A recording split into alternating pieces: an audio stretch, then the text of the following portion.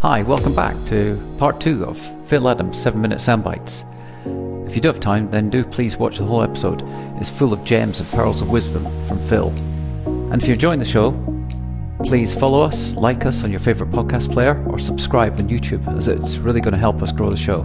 Now, over to Phil. I took some stills of famous Shakespearean actors so, you know, Kenneth Branagh playing Henry V and Marlo Brand- Marlon Brando, I think he's playing Mark Antony, Ian McKellen in Macbeth. There was Laurence Olivier was one and then Hugh Quarshie playing Othello. And I took lyrics or stanzas from We Are the Champions and put them over those still frames of, of, of these famous Shakespearean actors. Mm-hmm. And it does not feel out of place. I think he particularly when he wrote in the first person, as he does, does in that song. He, he, there's a Shakespearean quality to, to his lyric. And I, I, I do think about this stuff a lot, you know, through storytelling for clients and writing about lyrics. And there's a really interesting book which I pulled out, which is this one here.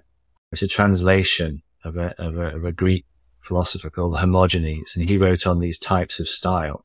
And I've bookmarked it here. But he says that the, that what, what all writers are looking for is writing that has force, which I think everyone would agree we are the champions has force. But there are six components of writing that has force and there's some obvious ones. So clarity is one, character is one and sincerity is one. But there are other characteristics of, of writing that has force. And there are things like grandeur and beauty and, and grandeur is, is, is, is made up of things like solemnity and vehemence and brilliance and florescence. And I think, I doubt very much that Freddie Mercury had read Hermogenes on style.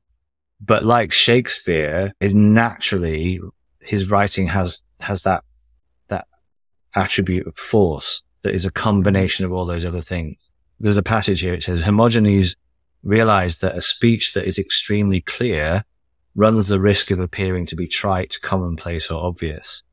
In his discussion of grandeur, he therefore deals with the various ways in which an, or- an, an orator can keep the clear from appearing to be mundane. And that's what Freddie Mercury does. His language is really simple. It's not polysyllabic, but it has that grandeur and anything but mundane. And therefore it carries huge force. So yeah, I, I don't think it's remotely ridiculous to compare him with Shakespeare. And as I say, when you put those lyrics against those Shakespearean actors, it looks like the words could be coming out of their mouths. For the ancient Greeks who came up with the idea of democracy, elections were in, inherently undemocratic. And the etymology of the word democracy is the Greek words demos, which is citizens or the populace of a country, and kratos, which is power. So dem- democracy literally means power to the people. And through elections, we're basically outsourcing our agency and our power to elected representatives who actually don't represent the majority of us. So it doesn't work as from first principles. It doesn't work as a democratic system at all. I was talking to some people from the transition movement the other day who, you know, who basically their working assumption or their conclusion that they've drawn from all the available data is that capitalism has to end for us to have any chance. And the sooner that happens, the better. But again, one of the issues they've got is, okay, well, you're going to scrap capitalism. What are you going to replace it with? And how can I, as an individual, regardless of my circumstances, how can I imagine that that's going to be better than what I've got now? I think for someone like me, particularly, I've got a comfortable lifestyle according to conventional wisdom, I've got a lot to lose from this transition that they're so keen on. So I really need some help to imagine something better.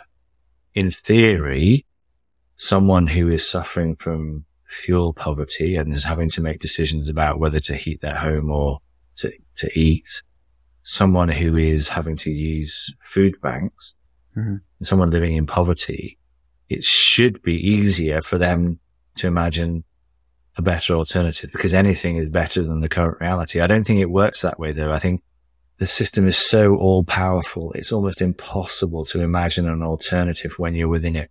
And that, that sort of being a catalyst for people's imagination is, is such an important job that needs doing. And you'd think that the ad industry is perfectly placed to do that. I just don't think it is because I think it's so much a cog of the hmm. machine mm. of capitalism that it's, it's quite hard to smash the system from within. I think a, a life well lived is a voyage of discovery. So two of my five things would be under that sort of heading. So one is just do things, do stuff. And, you know, you, ne- you never know what's going to happen as a result of doing things. So do things and go places.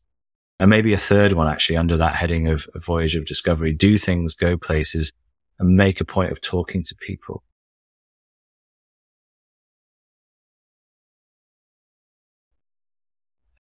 One of the beauties of this job, particularly the strategy side, is I get paid to talk to people, you know, my clients, audiences, my clients' clients, my clients' customers.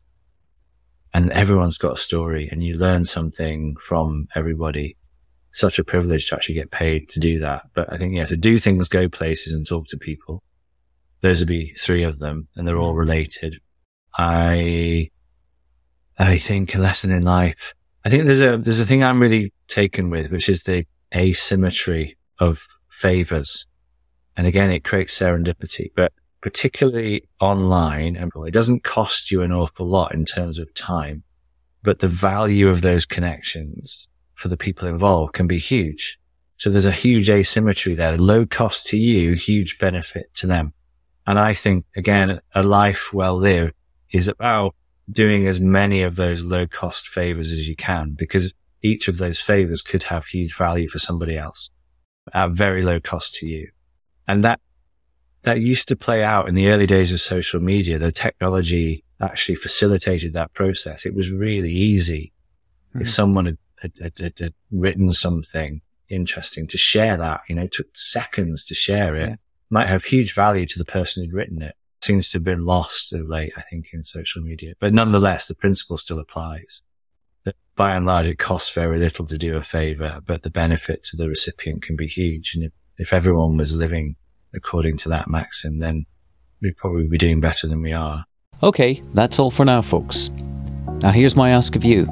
Please follow this podcast on Apple or Spotify or whatever player you use also, please subscribe to our new Random Collisions newsletter. We really are working to build a global community of action takers, action engines of people that really care about the problems that need solving. Thank you very much, and see you next time.